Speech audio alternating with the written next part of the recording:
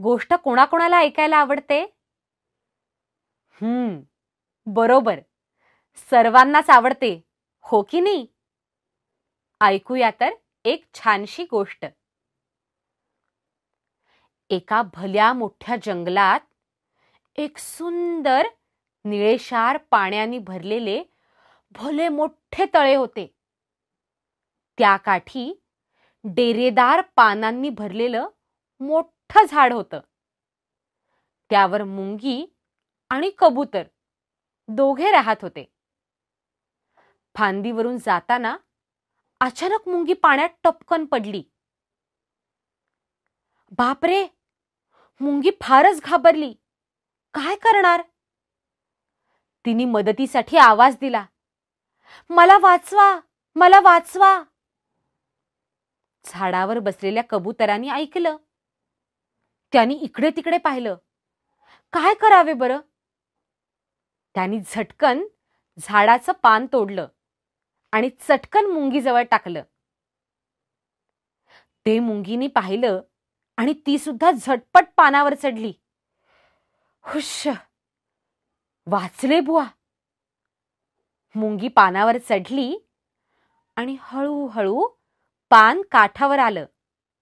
मुंगी वाचली. मुंगीनं कबुतराचे आभार मानले. मित्रांनो आता तुम्ही ऐकलेल्या गोष्टीतील घटनेनुसार एक एक चित्र क्रमाने तुम्हाला पाहायला मिळाली. म्हणजे चित्रांच्या क्रमानुसार तुम्ही गोष्ट ऐकली. निसर्गातही अशा अनेक गोष्टी आहेत त्याही क्रमानुसार घडतात. उदाहरणार्थ बी पेरणे. बी रुजणे कोंब येणे पाने फुटणे. हळूहळू बीचे झाड होते. आपण बी पेरतो बी रुजते. त्यानंतर बीला मोड येतात म्हणजेच कोंब येतात. पाने व मुळे फुटतात. हळूहळू फांदी फुले फळे येतात. अशा क्रमाने बीचे झाड बनते. तुम्हाला कोल्ह्याला द्राक्ष आंबट ही गोष्ट माहीत आहे. आपण त्याचा क्रम लावूयात. चित्रांचे नीट निरीक्षण करा बरे. घटनाक्रम लक्षात घ्या आणि क्रम लावूया. सांगा पाहू कोणते चित्र प्रथम घ्यायला हवे? दोन नंबरचे. एकदम बरोबर. रस्त्याने जाताना कोल्ह्याला द्राक्षांची बाग लागली. आता यानंतर काय बरं घडेल? कोणतं चित्र येईल? चार नंबरचे चित्र. फारच छान. त्याला द्राक्ष पाहून तोंडाला पाणी सुटले. कारण त्याला द्राक्ष खूप खूप आवडत होती. तिसऱ्या क्रमांकावर कोण असेल? हम्म. तीन नंबरचे चित्र येणार. बरोबर.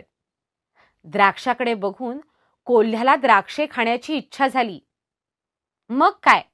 द्राक्षे मिळवण्यासाठी त्याने उड्या मारायला सुरुवात केली.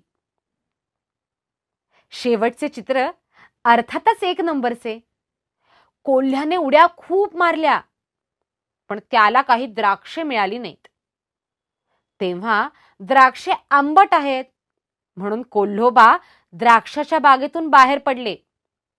म्हणजेच जेव्हा आपल्याला हवी ती गोष्ट मिळत नाही तेव्हा त्या गोष्टीलाच आपण नावे ठेवतो. म्हणून कोल्ह्याला द्राक्ष आंबट असे म्हणतात. आपण काय शिकलो? प्रत्येक घटनेला एक क्रम असतो. आपल्या रोजच्या जीवनात घडणाऱ्या घटना असतात यातही एक क्रम आहे. उदाहरणार्थ अगदी सकाळी उठल्यापासून रात्री झोपेपर्यंत सर्व गोष्टी क्रमाने होतात. एखादा पदार्थ तयार करताना तो योग्य क्रमाने तयार होतो. उदाहरणार्थ चहा भाकरी भाजी. निसर्गात सुद्धा असे अनेक घटनाक्रम आहेत. उदाहरणार्थ फुलपाखराचा जीवनक्रम. कळीपासून फूल फळ तयार होणे. स्वाध्याय खालील गोष्टी योग्य घटनाक्रम लावून तयार करा. माकड व टोपीवाला.